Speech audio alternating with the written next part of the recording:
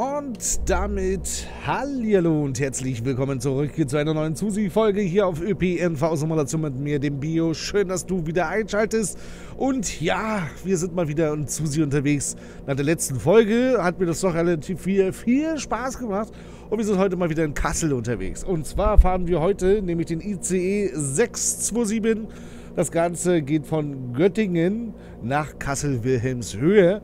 Und ja, fahren das Ganze, wie gesagt, ja halt mit dem ICE. Und äh, so weit, so gut, so schaut es auch aus. Wir sind am Tage unterwegs. Und ähm, wir werden jetzt mal ganz kurz mal, weil bevor wir jetzt wieder zu spät losfahren und alles was, ne, werde ich den Zug jetzt schon aufrüsten. Ähm, auch wenn das Quatsch ist. 6, 2, 7. Und da haben wir den nämlich schon, da ist der Fahrplan nämlich gültig. Und jetzt können wir nämlich hier ganz gechillt nämlich springen, den Zeitsprung. Und dann seht ihr nämlich auch mal, wie schnell die Zeit so geht. Ähm, wann müssten wir? Um 8. Und dann. Ja, seht ihr? Wir, wir sind nämlich jetzt schon wieder viel zu spät.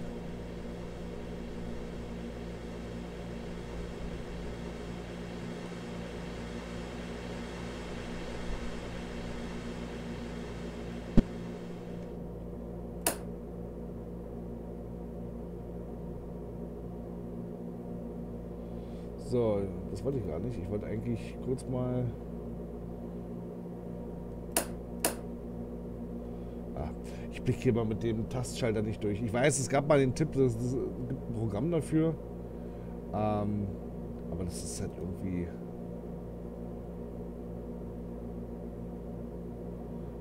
So. Genau, wir stehen schon am Bahnhof.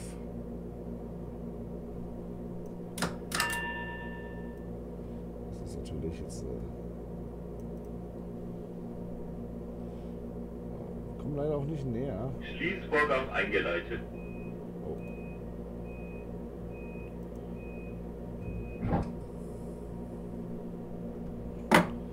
So, na denn. AFB, AFB.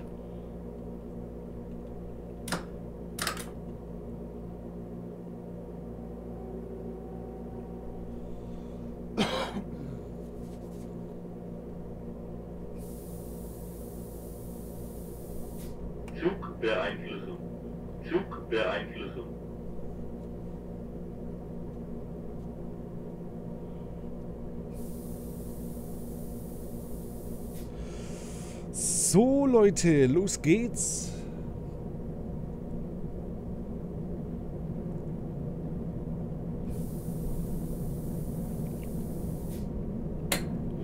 Ich weiß gar nicht. Steht 160. Kann ich mir gar nicht vorstellen.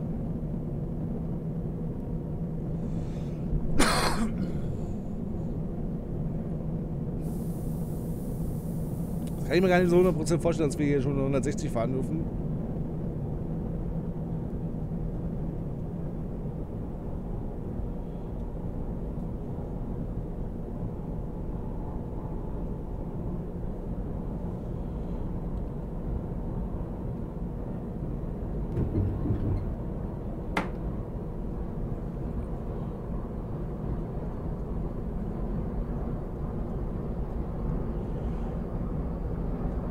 Aber stimmt schon.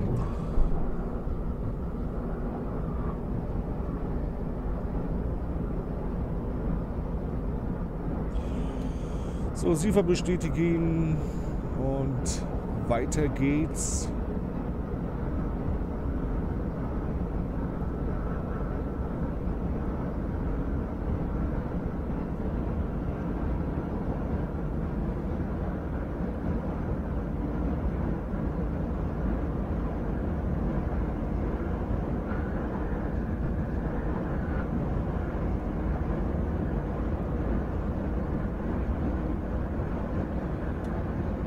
Und ich sehe gerade, wir hätten sowieso noch 120 fahren. Ja, wir waren ja sowieso, wir sind jetzt bei 102. Ja. Müsst du gleich die LZB wieder anschlagen. Normalerweise. Über die Deutsche Post. Also, man kann mir das immer noch sagen. also nichts gegen den Train Simulator. Ja, der Train Simulator sieht wirklich gut aus. Train Sim World sieht noch besser aus. Ja. Spielt sich beides gut. Aber irgendwie kommt nichts an Susi ran. Also, da kannst du mir sagen, was du willst. Auch wenn Susi aussieht, wie wahrscheinlich für viele absolut wie Stulle. Das kann ich nicht bestätigen. Das kann ich absolut nicht bestätigen. Also, das. Ich weiß nicht. Das hat so diesen. Diesen Omsi-Flair drin. Ja, dass du dann irgendwie so richtig Bock hast, unbedingt weiterzuspielen. Jetzt können wir hier natürlich aber auch die AfB einfach abschalten. Nee, kann man nicht.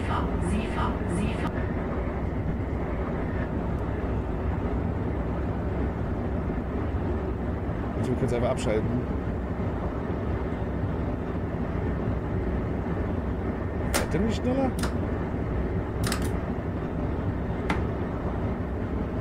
Denn für eine... Das schafft 230.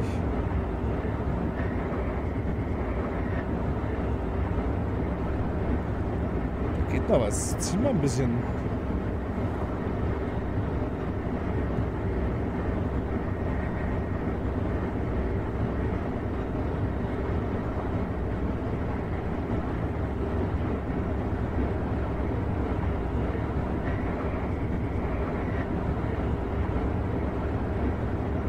Puh, ja, also der ist öde, schnöde langsam. So, jetzt müssen wir ganz kurz gucken. Ähm, Navigation F11 und F9, okay.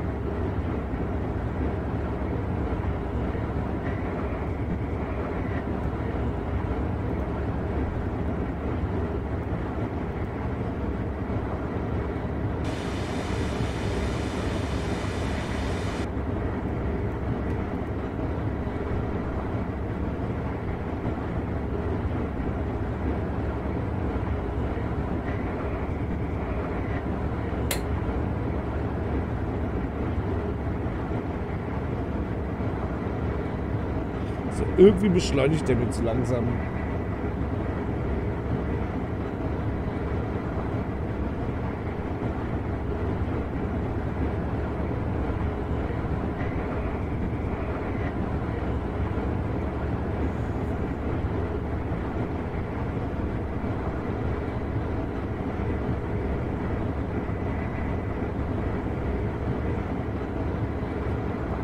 Wir haben auch ordentlich Verspätung hier drin. Also die, was heißt ordentlich Verspätung? Ich habe jetzt gehört, normal bei der Verspätung redet man erst ab sechs Minuten, dann ist man zu spät. Ähm, also es war jetzt irgendwie letztens jetzt in den Nachrichten, habe ich das jetzt irgendwie gehört. Ich meine, die Deutsche Bahn hat sowieso ihr Ziel verfehlt. Ja, sie hatten ja vorgehabt, ähm, ihre Verspätung auf, also zu verbessern, um 1,5 Prozent zu verbessern, um 1,5 Prozent zu verbessern. Und sie haben nicht mal die 1% geschafft. Sie haben nicht mal die 1%. Das ist schon ein trauriges, das ist, das mega trauriges Ergebnis.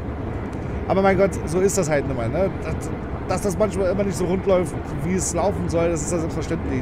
Wir reden hier von Technik. Ja, Technik versagt nun mal, das ist halt einfach so. Und wenn man mit dem Gedanken spielt, dass Technik alleine fungieren soll, ohne Mensch, ja, dann muss man sowas in Kauf nehmen. Das ist halt einfach so. Ich meine, was macht denn der Lokführer? Sehen wir mal jetzt speziell jetzt hier zu Sie. Der Zug übernimmt alles. Lass doch mal jetzt hier eine Störung drin sein in der LZB. Der Zug bremst einfach ab und steht dann halt einfach. Und zack, so schnell kann es gehen. Ja, und so weiter und so fort. Also wahrscheinlich kann man das auch wieder alles aushebeln und dann wieder manuell weiterfahren. Gibt es wahrscheinlich alles, aber trotzdem haust du dir erstmal diese Verspätung rein. Und so geht das halt Ganze. Ja? Und, äh, aber sie haben, wie gesagt, schon niedrig angesetzt. 1,5 Prozent wollten sie verbessern und sie haben halt nicht mehr die 1% geschafft. Das ist, das ist, das ist ein mega trauriges Ergebnis eigentlich. Aber was äh, wollte ich sagen? Ähm, es ist halt irgendwie. Ne? Wo war ich denn eigentlich stehen geblieben? Also ich überlege gerade. Schiete aber auch. Ähm, ja, wie gesagt, also auf jeden Fall, das ist schon echt bitteres Ergebnis. Finde ich persönlich. Aber.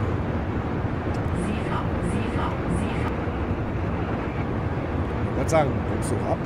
Sehr gut. muss ja auch dazu sagen, dass wir ja schon lange kein Susi mehr so richtig hatten, so aktiv. Ja, es war ja nur letzte Mal jetzt mal wieder eine Folge da gewesen. Aber das ist halt von der letzten Folge dann, ich glaube, Januar, Februar, März, April, Mai, Juni hatten wir, glaube ich, die letzte Folge gehabt. Das ist schon schade eigentlich. Susi ist schon eine coole Simulation. Ich will aber halt nicht immer nur ICE fahren und die anderen Aufgaben dauern mir meistens immer alle zu lange. Da habe ich dann keinen Bock, dann hier so zwei Stunden zu sitzen. Weil es ist ja so, dass weil viele sich ja beschweren, Susi hat bis 20 Minuten Aufgaben. Das kannst du absolut knicken. Ja, das, äh, es gibt ja Aufgaben, da bist du über sechs Stunden unterwegs.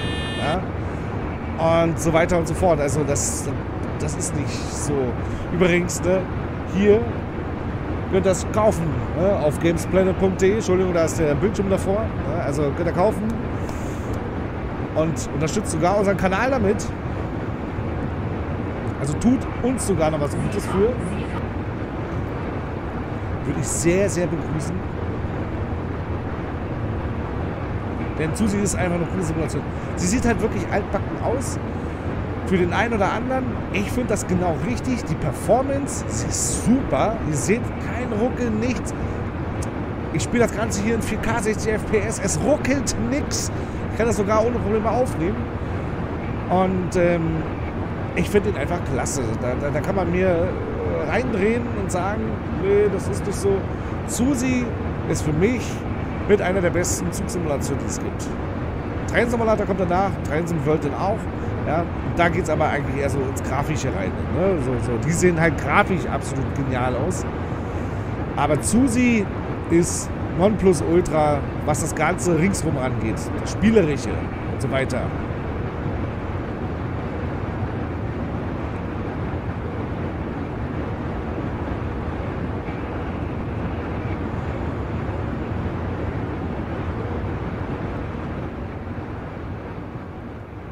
Sehe gerade, es kann sogar sein, dass ihr mich jetzt gerade die ganze Zeit gar nicht verstanden habt, weil vielleicht äh, der Ton vom Spiel zu laut war. Ich hoffe mal einfach, dass ihr mich verstanden habt. Und dann werden wir mal gucken, dass wir hier mal Susi mal wieder ein bisschen enger rannehmen. Jetzt kommt zwar eine neue Strecke für den Train-Simulator raus, aber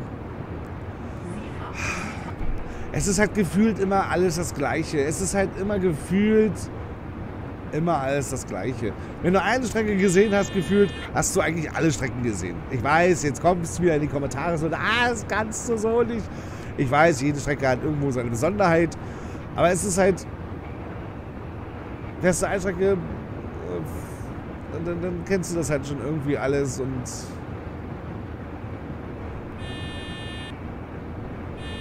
bremst denn der nicht?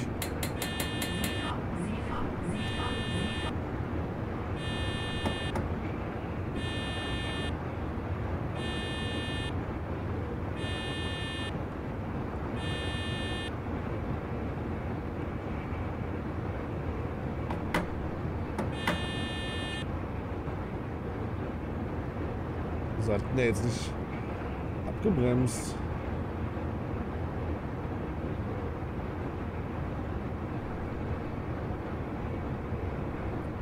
kriegt auch leider die AfD nicht aus.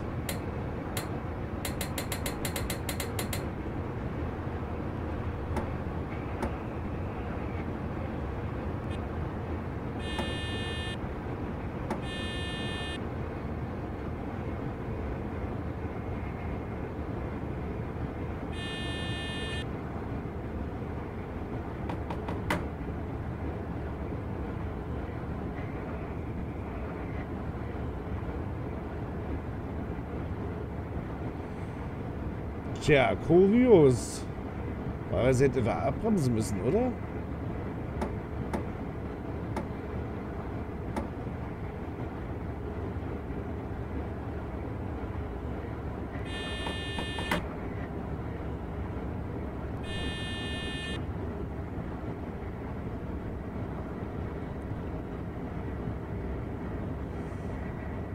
Mysteriös, Leute, sage ich euch.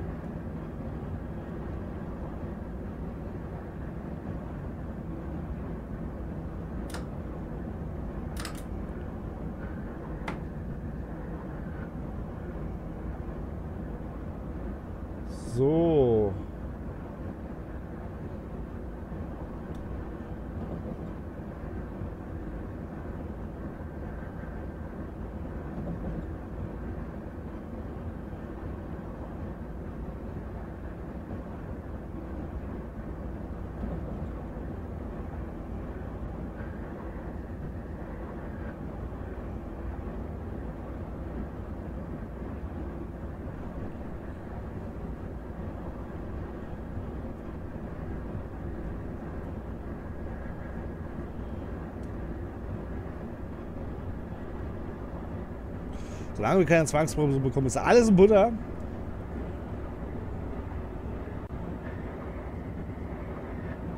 ...144, Kassel Wilhelmshöhe ist schon in greifbarer Nähe.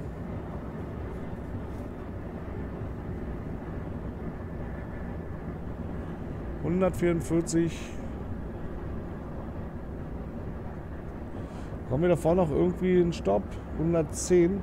Also ab 110 sollten wir dann langsam schon runter bremsen.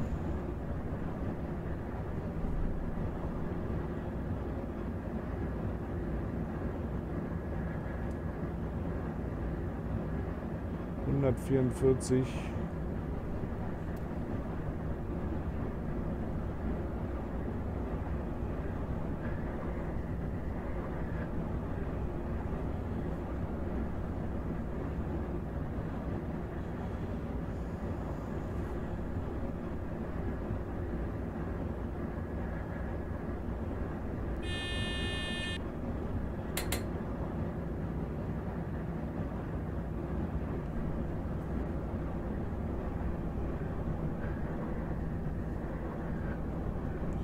So, und vier Kilometer. Da kommt Kassel.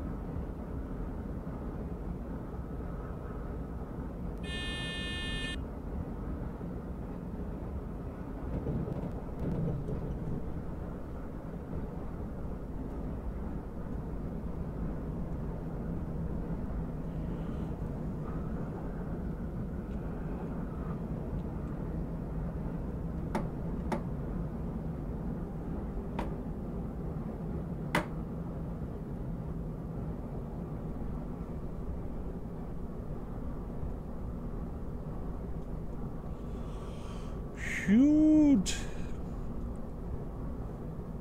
Hätte natürlich noch deutlich schneller hier hinfahren können, aber sicher ist sicher, ne?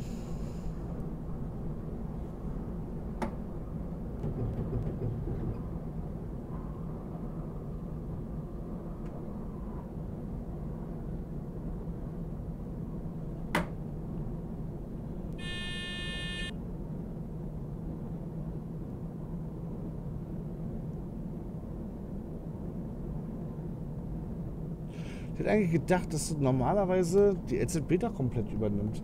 Weil ich habe dieses Auflösungszeichen der LZB doch gar nicht bekommen.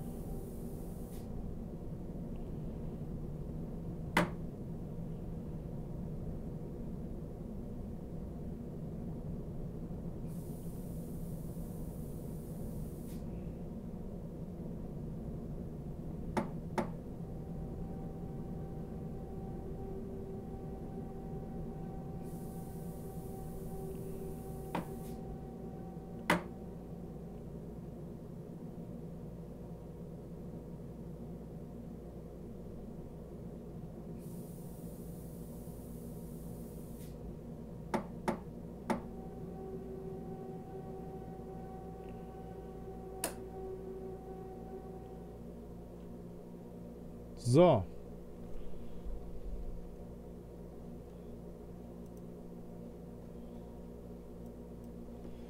Da stehen wir denn nun. In Kassel.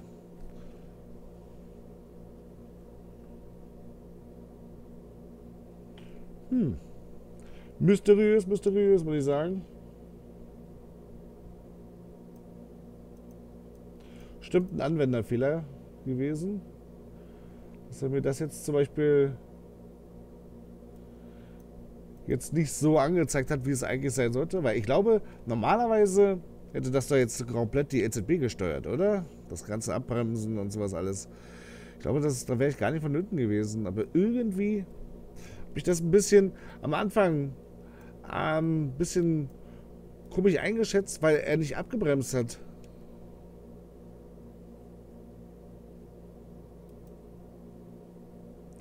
Das fand ich halt ein bisschen äh, eigenartig. Naja, aber das ist es. Das war auf jeden Fall mal wieder eine neue Folge von Susi ohne Zwangsbremsung. Läuft, läuft, läuft. Ähm, lassen wir uns mal überraschen. Und das war auch nochmal ein bisschen andere Strecke. Kassel ist eine schöne Strecke.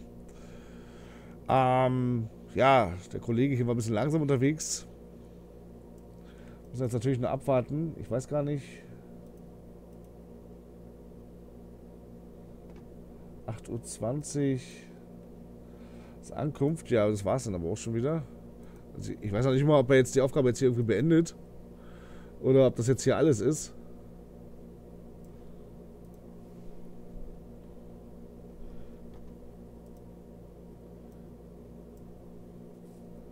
Auf jeden Fall sind wir mit einer Minute Verspätung angekommen. Das ist doch, schaut doch relativ gut aus. Ich würde gerne mal wissen, konnte, konnte man hier nicht irgendwie ranzoomen oder sowas? Ging das nicht mal? Hm. Keine Ahnung. Oder, warte mal.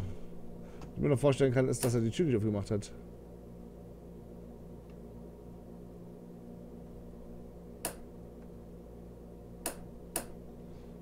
Türen sind offen, ne?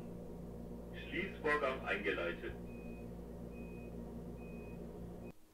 Aha. So, was hatten wir? Verspätung, eine Minute. Türfreigabe vergessen hatten wir einmal. Weiß zwar nicht wo. 31% Abzug Vormaxüberschreitung. Ja, wir haben ein Ergebnis von 58%. Hm, nicht so schön. Naja, das ist auf jeden Fall unsere Auswertung. Und sonst gibt es hier einfach nichts mehr zu sagen für heute. Das war, wie gesagt, war eine neue Folge zu Sie. Ich hoffe, euch hat die Folge gefallen. Wenn ja, lasst ein Like da, schreibt es in die Kommentare und sonst freue ich mich auf das nächste Mal mit euch hier und äh, verabschiede mich. Bis denn. Tschüss.